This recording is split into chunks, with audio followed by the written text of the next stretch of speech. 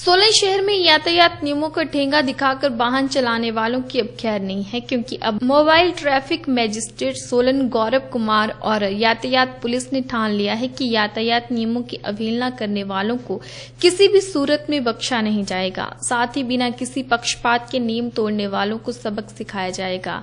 इसी के चलते सोलन के बाईपास सप्रून चौक पर विशेष नाका लगाया गया, जिसमें नियमों की धज्जियाँ उड़ाने वाले वाहन चालकों के करीबन 40 चालान काटकर करीबन बारह हज़ार रूपए जुर्माने की वसूले गए मौके पर यातायात के मुख्य आरक्षी सीताराम ने जानकारी देते हुए बताया कि आज mobile traffic magistrate Gaurav Kumar की अगुवाई में विशेष अभियान चलाया गया और नियमों की अवहेलना करने वालों के खिलाफ सख्त कार्रवाई करते हुए 40 वाहनों के चालान काटे गए। उन्होंने बताया कि ये मुहिम भविष्य में भी यूँ ही जारी रहने वाली है। उन्होंने कहा कि ज़्यादातर गाड़ियों में अन्य फोक्सिंग लाइट सहित चालक बगैर सीट बेल्ट, हेलमेट, वाहन चला रहे थे, जिसके चलते उन्हें रोककर उनके चलान काटे गए हैं।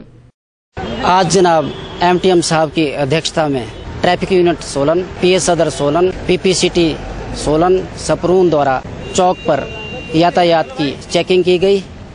चेकिंग के दौरान 40 चलान एम के किए गए अभी तक, जिसमें करीब बारह हज़ार रुपया मौका पर ही एमटीएम साहब द्वारा जुर्माना किया गया है। मौका पर जो चालक एमबी एक्ट के अंतर्गत नियमों का उल्लंघन करते हैं। उनके चलान काटे जा रहे हैं। अल्ट्रेशन, गाड़ियों की एक्स्ट्रा लाइट फिटेड और अन्य जितने भी चालक द्वारा ऑफेंस किए जाते हैं, उनका चलान किया जा रहा है। आगे भी यह चलान जारी रहेगा।